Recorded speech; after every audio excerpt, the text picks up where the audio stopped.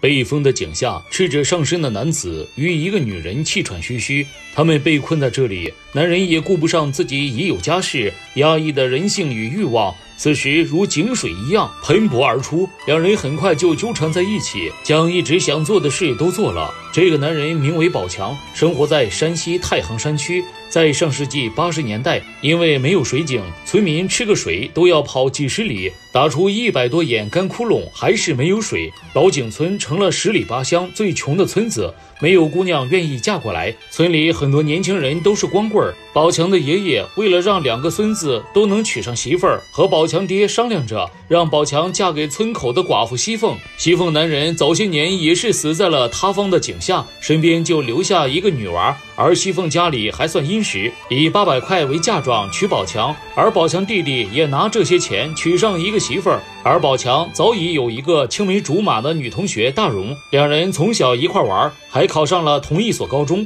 得知爷爷的打算，宝强打算带着大荣私奔，等到生米煮成熟饭再回来，大家也都接受了。可是还没到村口，就被爷爷逮住了。昏暗的屋内，碎瓦片和爆谷撒了一地。爷爷气呼呼地坐在床上，宝强蹲在角落闷头抽烟。大荣站在屋外，欲言又止，扭头走了。他知道宝强拗不过爷爷，爷孙俩气都还没捋顺，宝强爹就出事了。那时候打井要用炸药炸碎岩石，再往下挖。这天放的炸药没响，宝强爹就下去查看情况。谁知那个时候炸药响了，人被抬走时，井口还残留着斑斑血迹。老掘井人就这样丧生在为之努力一生的土地上。宝强家的风二爷在当年也是因为挖井被埋在地下一天一夜，出来就疯疯癫癫了。他奋力地往井下扔着东西，想要塞满这个吃人的恶魔。鲜红的棺材衬托着越发惨白的校服。爷爷开口说话了。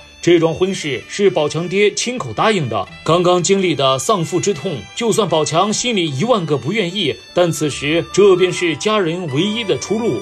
这是一场特殊的婚礼，寡妇西凤花了八百块娶宝强，全然不顾宝强已经有了心爱之人。而宝强家里也需要这八百块钱为弟弟娶媳妇儿。大荣看着男朋友结婚，新娘却不是自己，眼中满是愤恨。新婚之夜，西凤侧身看着宝强，希望他能看一眼自己，可他始终侧着身子。第二天去山里干活的宝强饥渴难耐，远远看有人挑着水，想要上前讨口水喝。走近一看，是大荣，他进也不是，退也不是，但大荣却把他招呼过去喝水。在宝强喝水时，大荣故意将头巾上的杂草抖在碗里。宝强也知他怨自己，轻轻将杂草吹开，继续喝下去。结婚几天，宝强始终都没有碰过西凤。西凤心里的苦终于藏不住，她哭出了声。都说女人的眼泪是男人的软肋，宝强有些心疼了，他顺势抱住了他厚实的肩膀。宝强挣扎了一瞬，便倒在了温柔乡里。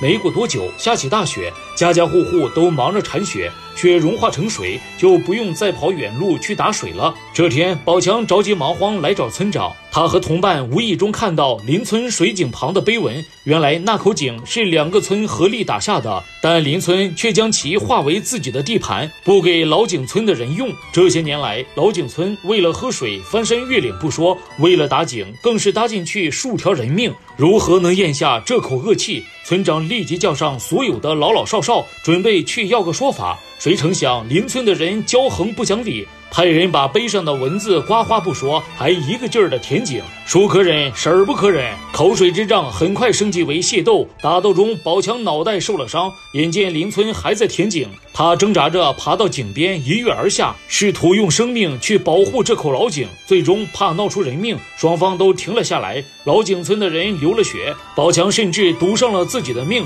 可抢来的却是一口苦井。这件事惊动了县里，为了解决老井村吃水的难题。县里派来了一个专家，专家对那个跳井的年轻人很有好感。他要在县里办个水文地质学习班，邀请宝强去听课。三倍出一个人，十倍出个神。老井村打井的事，如今到了宝强这儿，总算有了点希望。爷爷嘱咐宝强学好本事，给老井村打出一口井来，告慰那些为打井而牺牲的先人。很快，宝强学成归来，村长也甚是高兴。他快退休了，指望宝强能在此期间打出一口井，自己也算为老百姓干出一点实事。不过，老井村处在石灰岩地区，宝强也不是完全有把握。为了协助宝强，村长叫来了大荣和旺财，他们是村里为数不多的高中生。然而，只有大荣实实在在跟着宝强，旺财多是三天打鱼两天晒网，只剩下宝强和大荣翻山越岭寻找合适的地方做地质勘探。